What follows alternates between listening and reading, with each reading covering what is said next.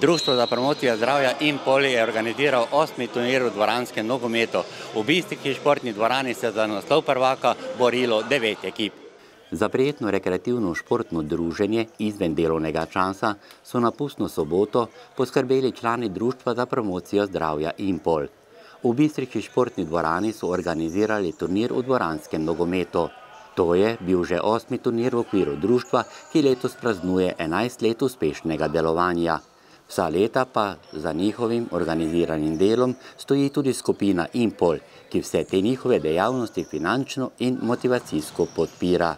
Ja, res je. Mi smo veseli, da smo zdaj lahko po dveh letih zopet to organizirali.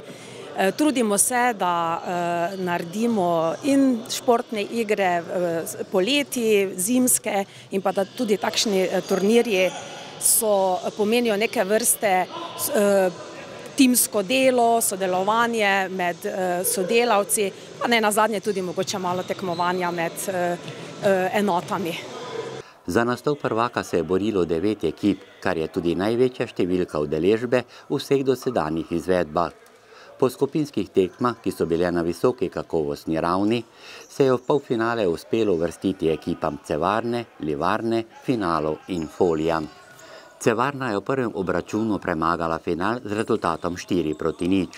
V drugem srečanju pa je Livarna 4 proti 1 odpravila ekipo Foli. V tekmi za tretje mesto so žogo brcari iz moštva Foli nasprotnikom iz finala nasuli kar šest golov ter tako osvojili tretje mesto. V velikem finalu pa sta si nasproti stali igralci Cevarne in Livarne, ki sta se srečali že tudi v skupinskem delu, kjer so slavili zmago zaposleni iz Cevarne.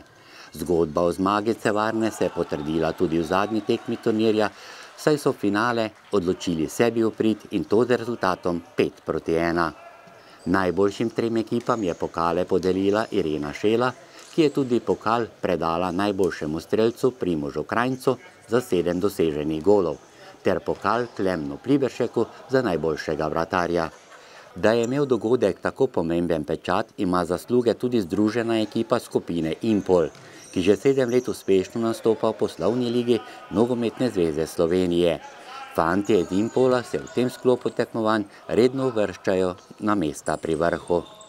Da pa še zima traja, bodo zaposleni iz skupine Impol potrdili v soboto 25. februarja na Treh kraljih, ko bodo vijugali med veleslalomskimi vratci. Z veseljem vabim vse zaposlene, da in tudi družine njihove, da pridejo, da se udeležijo in da mogoče se tudi tukaj poveselimo.